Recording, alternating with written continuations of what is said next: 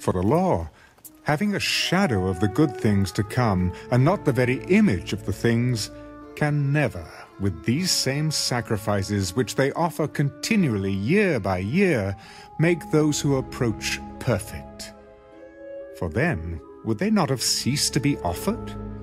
For the worshippers, once purified, would have had no more consciousness of sins.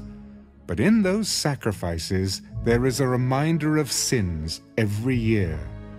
For it is not possible that the blood of bulls and goats could take away sins.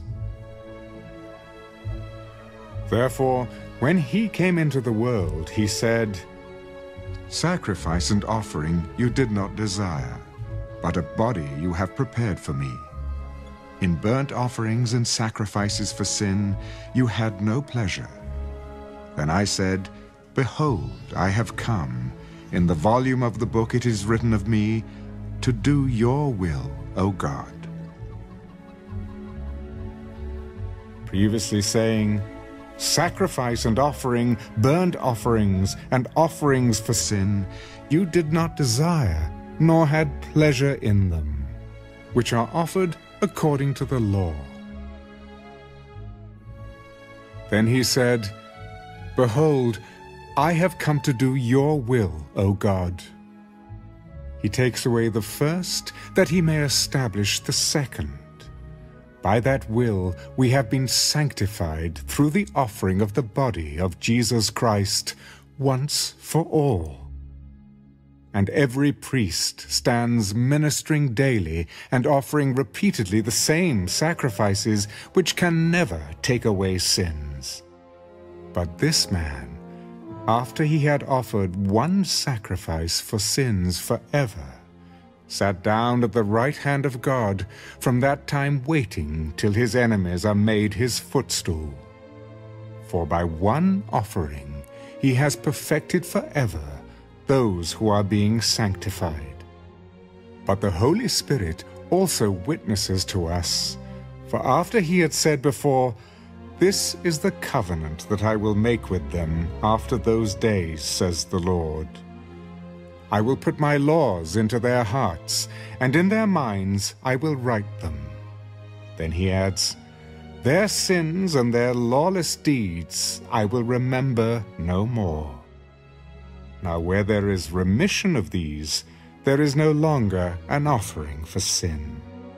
Therefore, brethren, having boldness to enter the holiest by the blood of Jesus, by a new and living way which he consecrated for us, through the veil, that is, his flesh. And having a high priest over the house of God, let us draw near with a true heart in full assurance of faith, having our hearts sprinkled from an evil conscience and our bodies washed with pure water.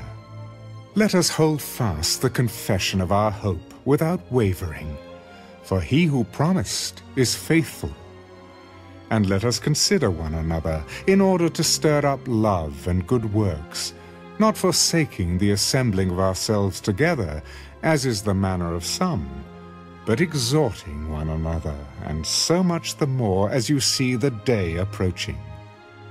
For if we sin wilfully after we have received the knowledge of the truth, there no longer remains a sacrifice for sins, but a certain fearful expectation of judgment and fiery indignation which will devour the adversaries.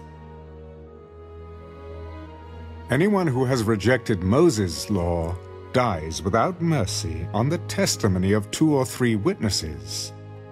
Of how much worse punishment, do you suppose, will he be thought worthy who has trampled the Son of God underfoot? counted the blood of the covenant by which he was sanctified a common thing, and insulted the Spirit of grace. For we know him who said, Vengeance is mine, I will repay, says the Lord. And again, the Lord will judge his people. It is a fearful thing to fall into the hands of the living God.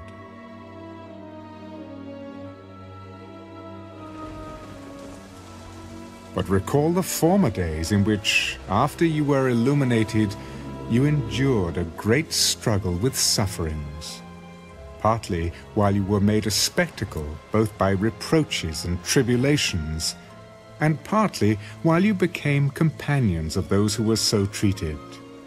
For you had compassion on me in my chains, and joyfully accepted the plundering of your goods, knowing that you have a better and an enduring possession for yourselves in heaven.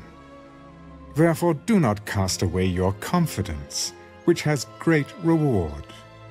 For you have need of endurance, so that after you have done the will of God, you may receive the promise. For yet a little while, and he who is coming will come, and will not tarry. Now the just shall live by faith. But if anyone draws back, my soul has no pleasure in him. But we are not of those who draw back to perdition, but of those who believe to the saving of the soul.